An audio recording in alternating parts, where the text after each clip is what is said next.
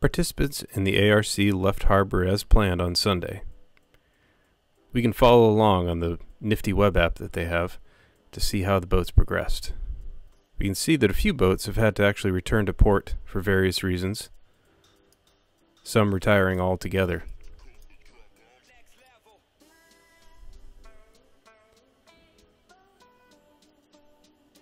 We've noted some boats have had issues with steering, lost rudders, etc.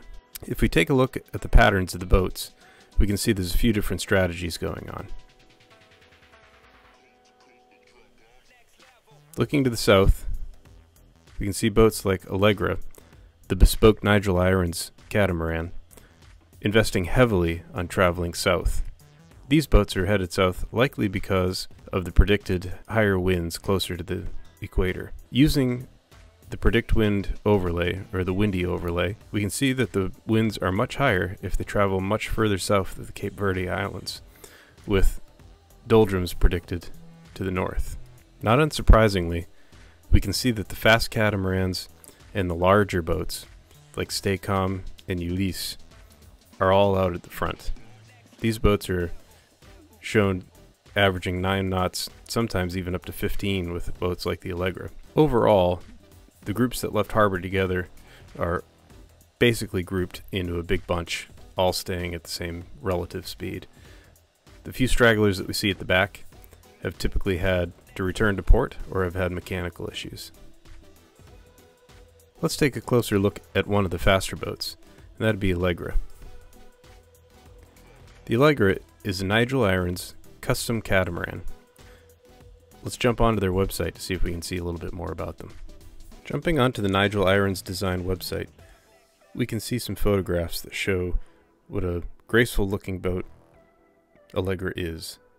Truly a luxury performance cruising cap. This is a very long, very slender hull design. Following up our last episode where we talked about what is a rally, uh, we'll talk today about what does it cost and how do you join. So if you go onto their website, you can request an info packet. Uh, I've done that and showing you the results here. This is the uh, info packet for ARC 2020 that will happen next year. The same uh, rally from Gran Canaria to St. Lucia. So, most people are going to ask, what does it cost? And the answer is it depends on the size of your boat and the size of your crew.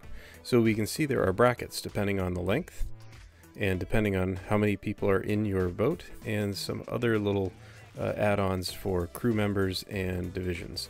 Uh, so if you're racing, you add a supplement, multi-hull, uh, boats add a supplement, etc. What do these fleas include? They include inspections, uh, some seminars and group outings, etc., uh, some safety demonstrations, and also a few nights stay at the marinas where you start and stop course, you're asked to be there sometime ahead of time and stay a little bit afterwards, uh, so some of that cost will be at your own at your own expense.